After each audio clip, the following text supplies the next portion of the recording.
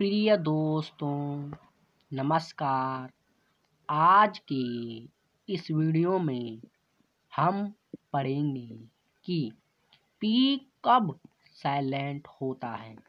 यदि पी के बाद एम या एन इनमें से कोई भी आए, वहाँ पर पी साइलेंट होगा। यदि पी के बाद, यदि पी के बाद एम या एन इनमें से कोई भी आए, वहाँ पर पी साइलेंट होगा। उदाहरण के लिए, देखिए पी कब साइलेंट होता है?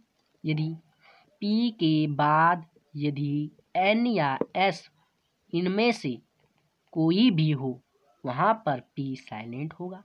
जैसे कि पी के बाद यहाँ पर एस है तो यहाँ पर पी को नहीं पढ़ा जाएगा।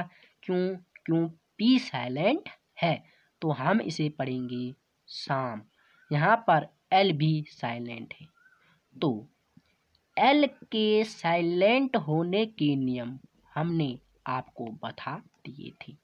तो इसको पढ़ेंगे शाम का अर्थ है गीत इस वीडियो में इतना ही। Thank you have a nice day